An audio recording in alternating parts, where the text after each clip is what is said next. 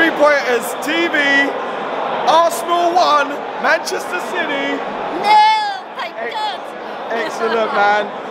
Listen, can you believe it's been like eight years now? You know, since we last beat them, you know, back in December 2015.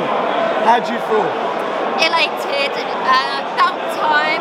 Um, we definitely deserved it. Um, Mikel's going the right way. Knew which substitutions to make. So Yes. Uh, Martinelli. I mean, it, what a fantastic player he is.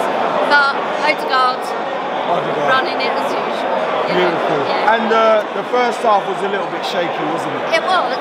It was quite evenly matched. Um, it could have gone either way, couldn't it, really?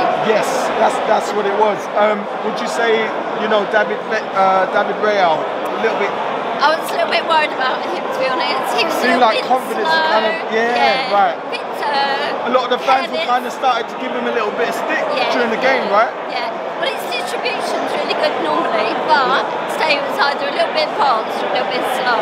So the right. players either weren't ready, or yeah, they couldn't nick it, couldn't they? So, Exactly. Yeah. And so, uh, how did you feel going into the game without, you know, Kayo Saka? Um, there were a couple of players that were. yeah.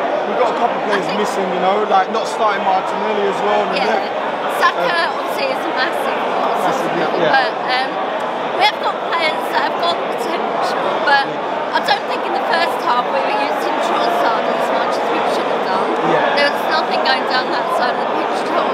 Raya didn't kick the ball over that side once. So, yeah, I mean, I know he went off, but I don't know that it was necessarily because he was playing badly. He just Yeah. wasn't getting any ball time. So, Right.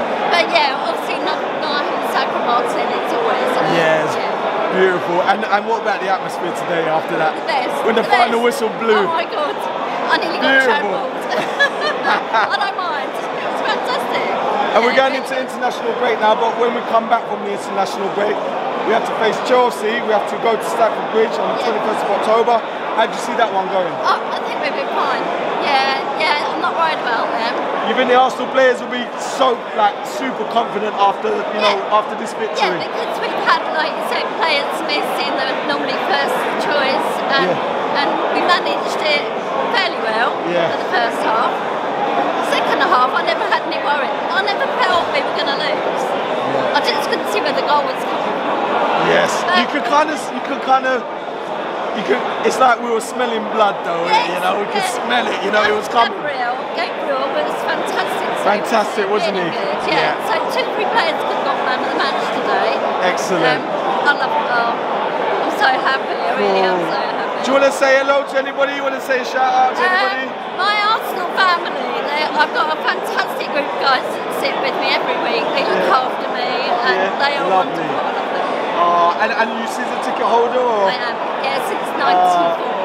94? Yeah, Woo! I was so- only, I was only 13. but anyway, but yo, stay there, my man.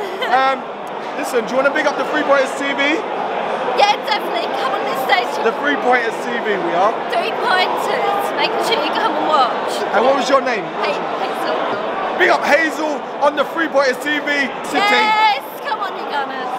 Come on, peeps. What were you waiting for? Like, share, subscribe to the Three Pointers.